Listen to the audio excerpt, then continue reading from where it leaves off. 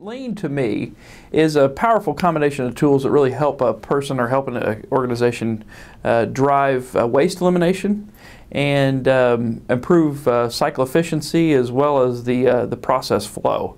Uh, flow improvements are a big deal for organizations. When I think of Six Sigma, you know, it, by the way, Lean, by the way, is structured in Plan, Do, Check, Act. So there's four main phases. But when I think of Six Sigma, it's a real like laser focused tool, really getting at the root cause, eliminating defects, um, reducing variation. So it's structured in five phases DMAIC.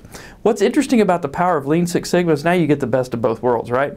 You get the uh, waste elimination, and the cycle time reduction, right? Process flow improvements. You get the variation reduction for Six Sigma and the defect elimination, the root cause analysis. It's a powerful, powerful toolkit. And uh, oftentimes people use DMAIC projects. Inside the DMAIC project, they'll actually have a lean a little bit of lean work, or sometimes people will be doing a lean uh, Kaizen, uh, plan, do, check, act, and they'll actually embed some of the Six Sigma tools in it. So the power of Lean Six Sigma, the com combined approach is amazing.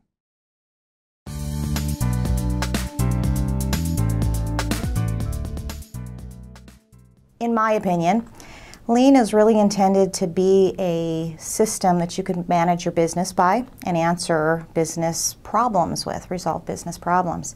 It is a very laser focused methodology for adding value to your customers. And in turn, what we do is we add value to our own organizations when we utilize the, the concepts.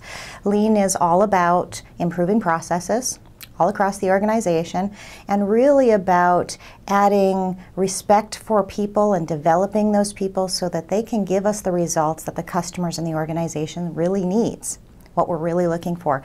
Lean is a very simplistic methodology. Anybody at any level and in any function of the organization can use it, and that's what really makes it powerful.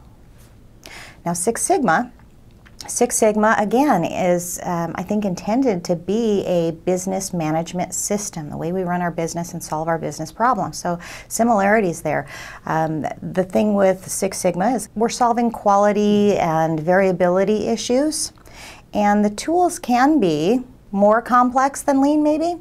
But on the other hand, they sometimes are more efficient at solving more of the complex issues. So that's where their power stands. Uh, Lean Six Sigma, and I know this is kind of a cliche out there, but I do really believe that you're getting the best of two really great worlds. You receive the benefits of Lean as well as the benefits of Six Sigma. When you're using Lean Six Sigma, it's it, I use an analogy. If, if you're a house builder, you're building a house, and um, all you have is this tool set of small hand tools you're certainly not going to have a great, wonderful house. And on the other hand, if all I have are the big, gigantic, complex power tools that are really cool to use, you may not have a really great house also. And so Lean Six Sigma allows us to be a general contractor and pull the tools that we need for the specific purpose that we are really trying to uh, put forth, solve the problems that we really need to solve.